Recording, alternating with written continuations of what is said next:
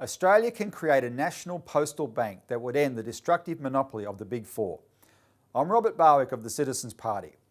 A national postal bank would have many benefits.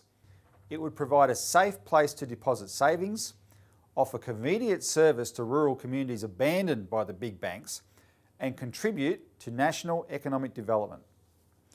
In fact, Japan's post bank was crucial in creating the economic miracle there after World War II. In the 1990s, it was the largest bank in the world. In Australia, meanwhile, the big four banks were cited by the Banking Royal Commission for charging dead people fees, signing up vulnerable people to useless insurance, and systematically undermining the retirement nest eggs of workers through high charges and poor investment returns.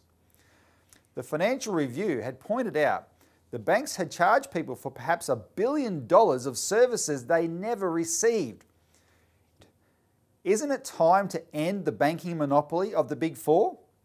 In 2018, various media reported that Christine Holgate, Australia Post Chief Executive, was discussing creating a postal bank. You can see this report points out that the banks will fight it tooth and nail. Over the last decade, the Big Four shut down branches in hundreds of rural communities to cut costs, putting profit before customer service.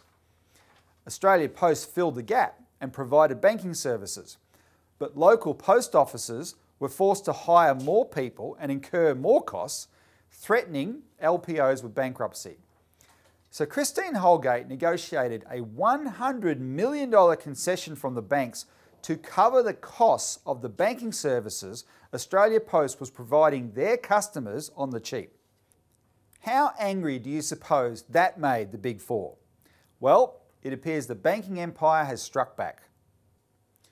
Christine Holgate is the victim of a malicious, politically motivated character assassination over Cartier watches she bought two years ago, and she's been forced to resign. Senator Kimberly Kitching grandstanded and wrote she nearly had to be picked up off the floor when Christine Holgate said she hadn't used taxpayers' money to reward the executives who got the $100 million concession from the banks. Compare that to the government website, which says the following Australia Post is required by law to operate commercially and does not receive funding from the government.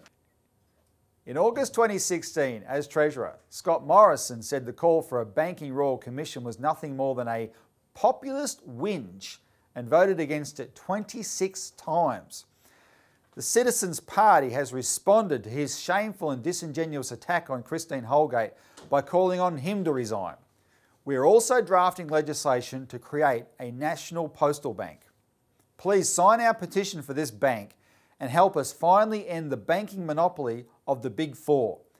The Australian people deserve better.